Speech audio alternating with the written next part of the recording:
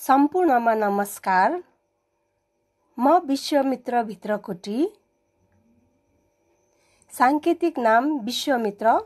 म अपाङ्ग बहिरा युवा व्यक्ति हुँ। हाल नेपाल युवा परिषद गण्डकी प्रदेशको सदस्य।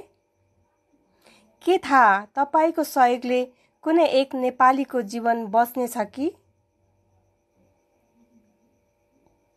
नेपाल युवा परिषदद्वारा कोभिड नाइन्टिनको परिस्थितिलाई मध्यनजर गर्दै ग्रामीण स्तरमा स्वास्थ्य सामग्रीहरू सहयोग गर्ने हेतुका साथ यस अभियान सुरु गरेका हौँ।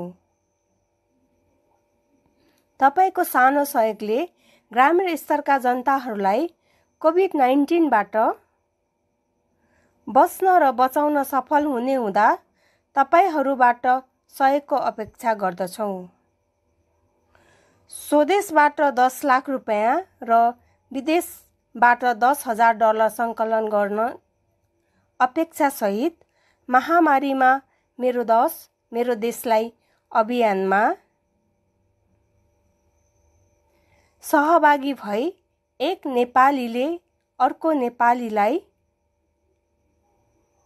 सहयोग गर्न हार्दिक अपिल गर्दछौँ।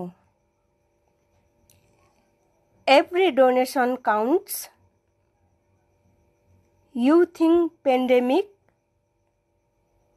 महामारीमा एकजुट नेपाली